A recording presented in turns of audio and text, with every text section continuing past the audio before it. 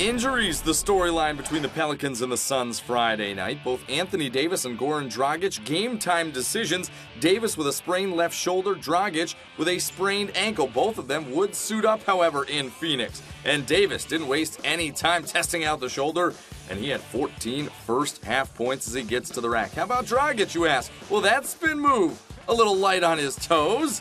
Doing just fine with the ankle, thank you very much. Markieff Morris then finding Dragic, another whirling dervish this time for the bucket and the foul. He had 15 in the first half.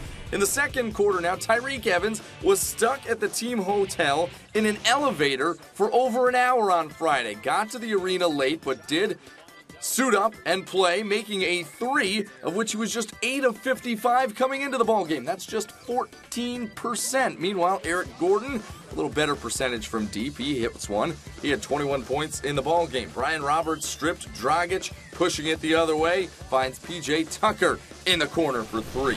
Phoenix led 56-54 at halftime. Anthony Davis knocking down a fadeaway jumper to tie it at 58. Then Davis causing a little mess here. Going after the loose ball, gets pushed out of bounds, and wouldn't you know, knocks over a gentleman's beverage right in the first row. Clean up, aisle four. Davis gets rid of the spills and gets back to the thrills, though, in the third.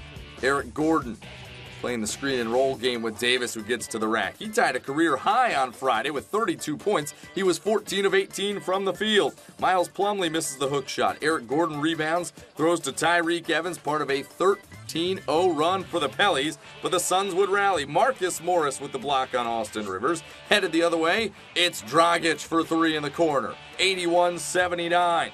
And then in the fourth quarter, off the inbounds, Dragic driving to the rack and the lefty finishes in traffic. New Orleans down by a point now. It's Markieff Morris inside for the lay-in. He had 18. The Morris twins combined for 33. But Dragic sets a career high for the second time in his last three games using the glass from distance right there. He went off for 40 on Friday as the Suns snap a three game losing skid 116 to 104.